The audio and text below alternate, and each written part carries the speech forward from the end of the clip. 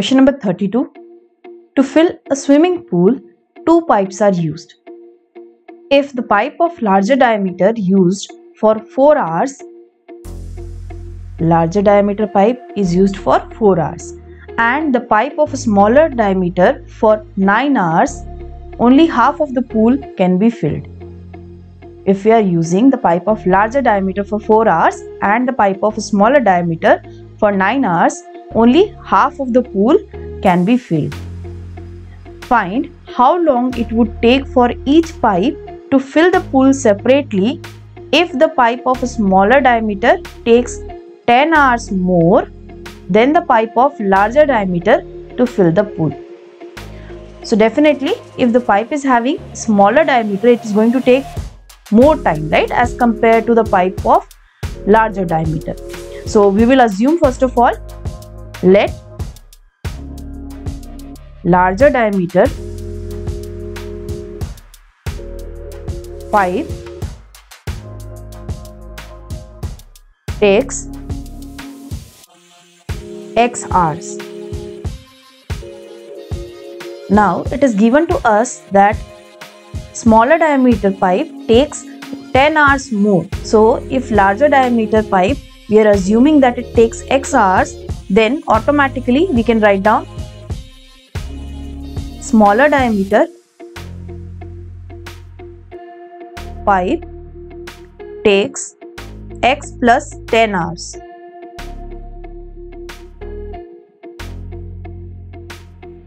Now we are going to find out in 1 hour how much portion of the pool can be filled. So if in x hours larger diameter pipe fills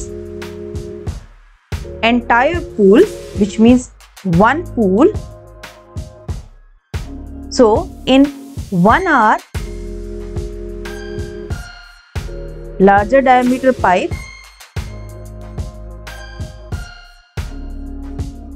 will fill 1 upon x part of the pool. Now same way we will find out for smaller diameter pipe also. So we have been given here that in x plus 10 hours smaller diameter pipe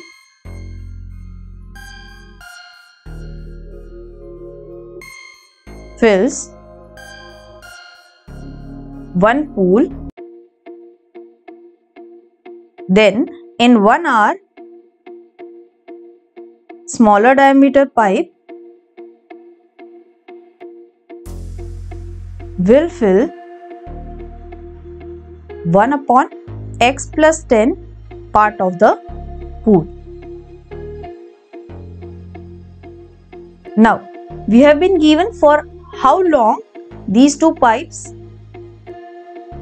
are used in order to fill half of the pool. So, larger diameter pipe is used for 4 hours and smaller diameter pipe is used for 9 hours. So, we will use this information and write down 4 multiplied by in 1 hour larger diameter pipe is filling 1 by x part of the pool right. So, in 4 hours it will fill 4 into 1 by x part of the pool. In 1 hour, smaller diameter pipe fills 1 by x plus 10 part of the pool. So definitely in 9 hours, it will fill 9 into 1 by x plus 10 part of the pool. And if these two pipes are used simultaneously together, then they are filling 1 by 2 part of the pool only half of the pool can be filled, right? It is given in the question. So, given that larger diameter pipe is used for 4 hours and smaller diameter pipe is used for 9 hours, together they are able to fill half of the pool. Now, we will try to simplify this equation in order to find out the value of x. 4 into 1 by x that will be 4 by x plus 9 into 1 by x plus 10. 9 by x plus 10 equal to 1 upon 2. let us take the LCM we are going to get x into x plus 10 in the denominator. 4 will be multiplied with x plus 10 in the numerator. Plus 9 will be multiplied with x. So 9x is equals to 1 upon 2 now let's solve it further 4 into x plus 10 plus 9x divided by x into x plus 10 would be x square plus 10x equal to 1 upon 2. Now let's cross multiply. So we are going to get 2 into 4 into x that would be 4x plus 4 into 10 that would be 40 plus 9x equal to 1 into x square x square 1 into 10x that would be plus 10x. Now we will get 2 into 4x plus 9x that would be 13x plus 40 equal to x square plus 10x. 2 into 13x that would be 26x plus 2 into 40 that would be 80 equal to x square plus 10x. Now let's bring all the terms towards left hand side. We will get minus x square minus 10x plus 26x plus 80 equal to 0 which is going to give us minus x square plus 16x plus 80 equal to 0. Now let's multiply the entire equation with minus 1. On multiplying above equation with minus 1 we will get x square minus 1 into minus x square that would be x square minus 1 into 16x that would be minus 16x minus 1 into 80 that would be minus 80 equal to 0.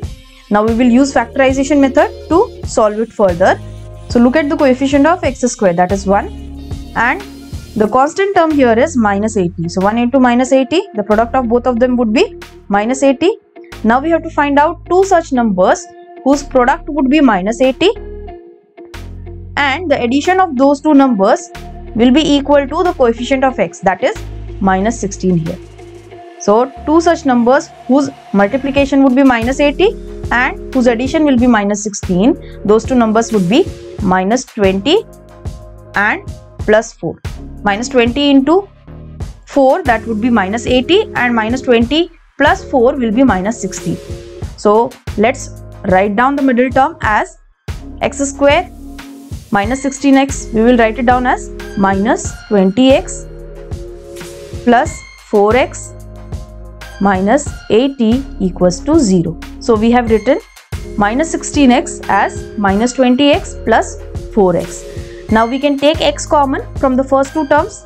We will be having x minus 20 in the bracket and on taking plus 4 common from the next two terms we will be having x minus 20 inside the bracket.